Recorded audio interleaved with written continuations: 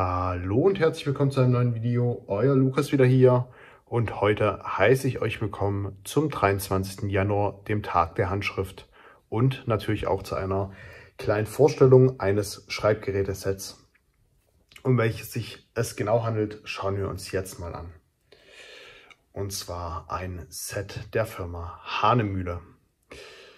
Das, äh, die Firma Hahnemühle wurde im Jahre 1584 als Papiermühle gegründet und stellt seitdem auch Papier her bis heute ähm, und ist 2021 mit der ähm, Fine Notes ähm, Serie gestartet, die neben Schreibpapier, äh, also den Notizbüchern, die auch noch vorgestellt werden, ähm, eben auch Schreibgeräte. Und heute schauen wir uns die Bold Edition an. Genau, öffnen wir mal die schöne Box, wo oben einmal Hahnemühle draufsteht, 1584 mit dem Firmenlogo und Made in Germany.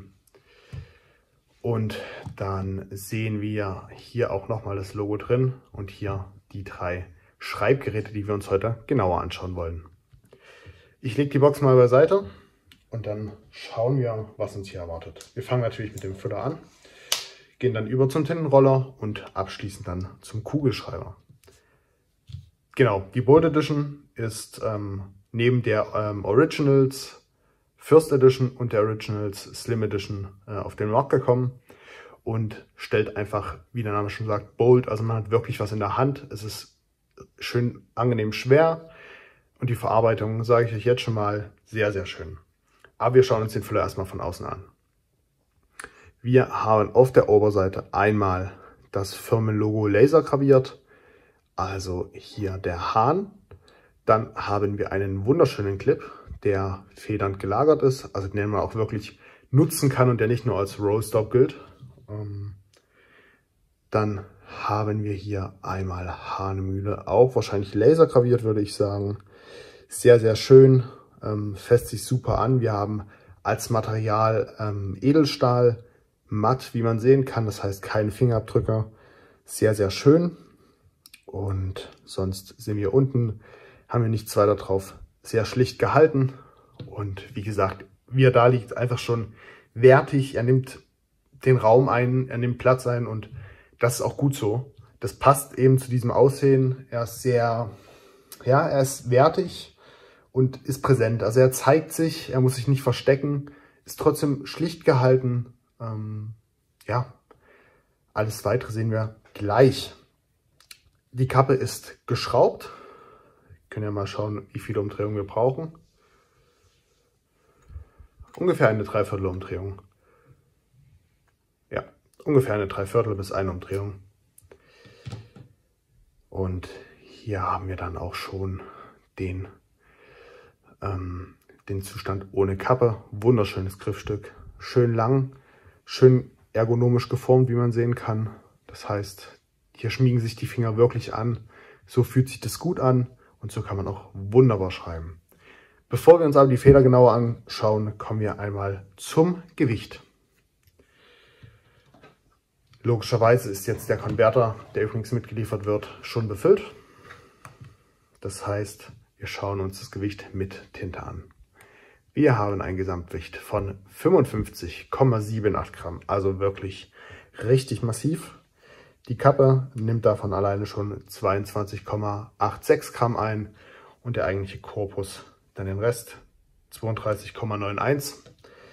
Also da hat man definitiv was in der Hand und das merkt man und das ist sehr, sehr angenehm. Gerade mit dieser Wertigkeit und ähm, das fühlt sich einfach gut an, das fühlt sich richtig an. So soll es sein.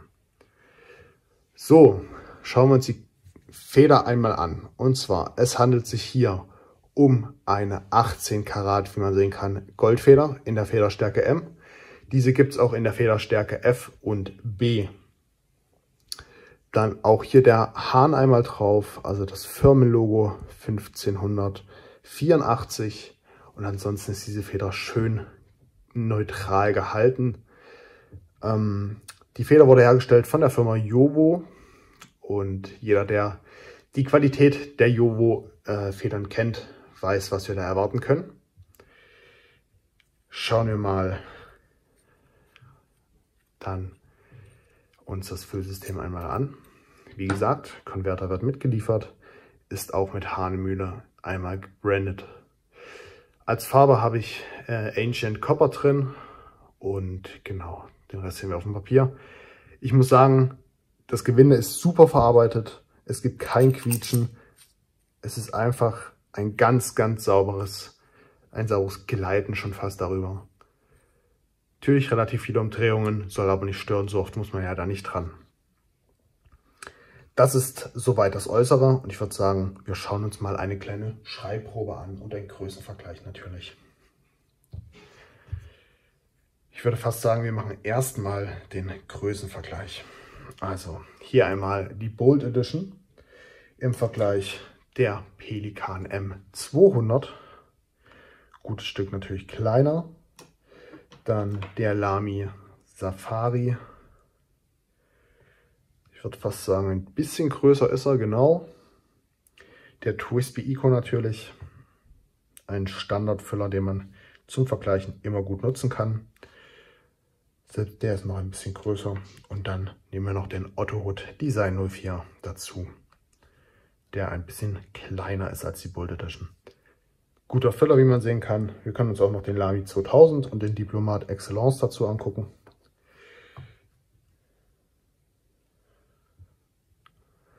Und der Diplomat Excellence A2.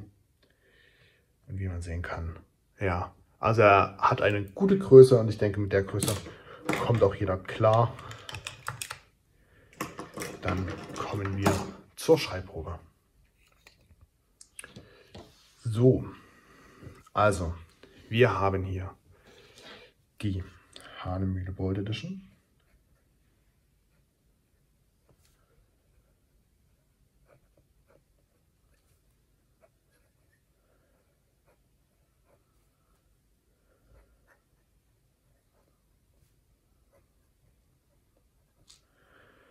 in der Federstärke M. Als Farbe haben wir Diamine Ancient Copper. Wie gesagt, die M ist natürlich in 18 Karat Gold und das merkt man. Die Feder sinkt ein wenig, man hat ein wenig Strichvarianz. Da kann man durchaus was rausholen, auch mit wenig Druck, den man zusätzlich ausüben muss. Der Tintenfluss ist sehr, sehr angenehm. Nicht zu feucht, nicht zu trocken. Perfekt, um damit ein paar Seiten füllen zu können, ein paar Briefe schreiben zu können. Ideal. Ähm, genau, Top Overwriting, wie man sieht, funktioniert auch. Die Feder sinkt ein wenig, was typisch für Goldfedern ist. Zumindest für Goldfedern, mit denen ich bereits gearbeitet habe und arbeiten durfte. Ähm, ja, Strichvarianz ist da. Der Tintenfluss ist sehr, sehr angenehm. Und die Kappe ist aufsteckbar. Also wem das Gewicht von dem Füller an sich nicht reicht, kann auch die Kappe zusätzlich noch benutzen. Ich brauche es jetzt persönlich für mich nicht. Genau, das soll der Füller einmal gewesen sein. Dann gehen wir natürlich über zu dem Tintenroller. Auch den schauen wir uns einmal kurz so an. Designmäßig eins zu eins das gleiche, also äußerlich ähm, nicht zu unterscheiden. Da war ein bisschen äh, Staub drauf. Genau, Feder, ähm, Clip auch hier Federn gelagert. Träber auch alles ganz normal. Nur hat man dann hier eben eine Tintenrollermine drin.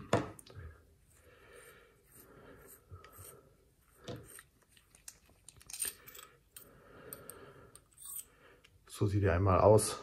Also sehr, sehr schön gebrandet und in der Farbe schwarz wie zu erkennen. So, die machen wir wieder rein und drehen das Gewinde wieder zu. Und dann ähm, kommen wir auch hier natürlich noch einmal zum Gewicht, dass ihr euch da ein Bild machen könnt. Ähm, Tintenroller, ja, ähm, für mich jetzt natürlich nicht die erste Wahl, da ich einfach Füller mehr präferiere, aber auch Situationen, in denen man mal ähm, einen Tintenroller braucht, die werden auch vorkommen. Gewichtmäßig gesamt 56,49 und ohne Kappe, die gehen wir hier bei 33,87. So, Waage wieder beiseite und Größenvergleich können wir uns so ansehen. Das ist die gleiche Größe. Das heißt, hier müssen wir jetzt auch nicht, ähm, auch nicht nochmal extra einen Größenvergleich machen. Hier haben wir einmal auch die Hahnemühle.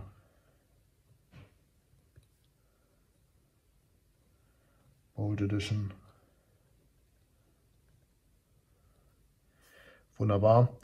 Hier in der schwarzen Mine, also das heißt, man sieht das, ne, ist natürlich typisch Tintenroller, trocknet relativ zügig und ähm, ja, Strichstärke finde ich gut. Also damit kann man auch relativ klein schreiben. Also wunderbar, sowohl für kleine Notizen als auch vielleicht Leute, die damit auch gerne längere Texte schreiben. Durchaus geeignet dafür. Das heißt, auch der kann soweit beiseite. Und was wäre ein äh, Schreibgeräteset ohne natürlich noch den dazugehörigen Kugelschreiber? Und auch den haben wir hier. Den schauen wir uns auch einmal gewichtmäßig an. Hier gibt es ja keine Kappe zum Abschrauben. Das heißt, den müssen wir uns so anschauen. Und das machen wir auch. Wir liegen hier vom Gewicht bei 58,20 Gramm. Also wie gesagt, auch hier ordentliches Gewicht, größtenteils nach hinten gelagert. Ähm, ist ein Drehkugelschreiber, das heißt, geht sehr sanft, kein Problem. Öffnen geht dann in die andere Richtung. Auch hier das Gewinde wieder 1A verarbeitet. Ich kann bei der Verarbeitung grundsätzlich keine Kritik ausüben. Ähm, hier nochmal die Beschriftung der Mine. Ähm, ich kann, wie gesagt, grundsätzlich keine Kritik ausüben bei der Verarbeitung. Die ist 1A, so wie man sich das Ganze wünscht und ähm, denke ich auch erwarten soll, wenn man natürlich das äh, Geld dafür ausgibt. Preislich übrigens äh, komme ich zum Schluss nochmal dazu. Das heißt, äh, da müsst ihr noch einen Moment dranbleiben. Vom Größenvergleich hier sind wir ein bisschen größer. Ähm, genau. Und dann kommen wir auch hier natürlich zu einer Schreibprobe. Also einmal aufdrehen und dann kommen wir zum Schreiben.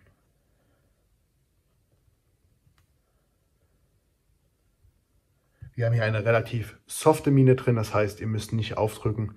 Ihr könnt das einfach ganz leicht übers Papier führen und er schreibt trotzdem. Also wunderbar. Richtig schön soft. Ähm, so macht es Spaß. Und so macht doch mal der ein oder andere Kugelschreiberstrich äh, Spaß, auch für uns Füllerfreunde, die ja sonst eher nicht Kugelschreiber bevorzugen würden.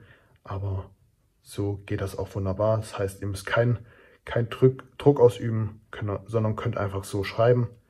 Und ja, sehr, sehr angenehm. Und auch hier natürlich die Farbe schwarz einmal vertreten. So, was natürlich bei dem Füller gefehlt hat, ich verzeihe, äh, natürlich den Füller einmal nehmen. Ähm, der Quick Brown Fox, Fox den habe ich vergessen. Den holen wir jetzt noch fix nach.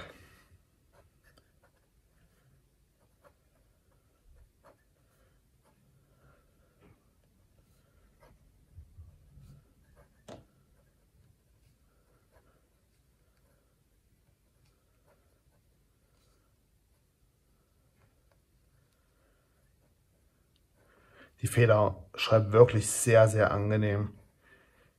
Das Ding sollte natürlich nicht stören. Wenn euch das stört, ist der Füller wahrscheinlich eher nichts für euch. Aber mich stört das jetzt nicht. Ich finde das sehr angenehm, wenn, das, ähm, wenn man da ein bisschen Feedback von der Feder erhält. Die kratzt nicht, die hat auch, finde ich, jetzt nicht so starkes Feedback. Schreibt sehr weich. Ähm, das Einzige, was man halt hört, ist das Singen von der Feder. Genau, das sind die drei Schreibgeräte, die ich euch vorstellen wollte. Und jetzt natürlich abschließend und passend zum Thema Tag der Handschrift werde ich noch ein bisschen Worte darüber verlieren. Ähm, viele, die jetzt zum Beispiel auch wie ich größtenteils äh, am Computer arbeiten und auch vielleicht während ihrer Klausurenphase oder so darüber lernen ähm, und alles so mit dem Computer mitgeschrieben haben, werden es, denke ich, merken, dass man, wenn man das nicht selbst mit der Hand einfach nochmal schreibt, dass man sich das einfach nicht so gut verinnerlicht.